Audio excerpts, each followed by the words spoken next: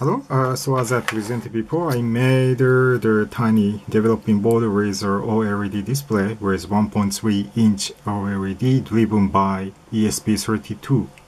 Uh, actually, the ESP32 is very uh, high performance Wi-Fi modules, uh, actually beyond the Wi-Fi modules.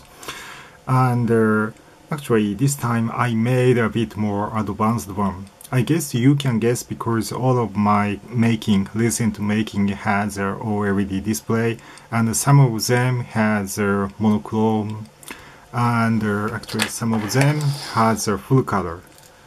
Yes, this time I made the full color version.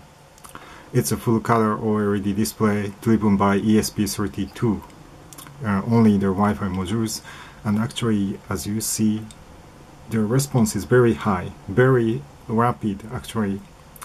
It's far beyond uh, another, I guess, uh, Wi-Fi modules. And uh, as same as previous one, I put the FTDI so directly binary can be uploaded through the USB interface. And also I embed the lithium polymer charging circuit on board. So everything is on board and you can enjoy the full color uh, display as you wish. Have fun!